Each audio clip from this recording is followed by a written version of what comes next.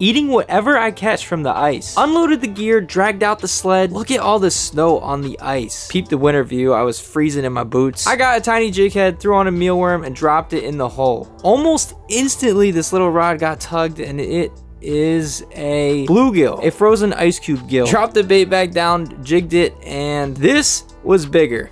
It was really tugging. Ooh, a thick yellow perch. These fish look so cool and they are tasty. Filleted them up, heated the pan, threw in some butter, cooked it up. Tasty, four out of five.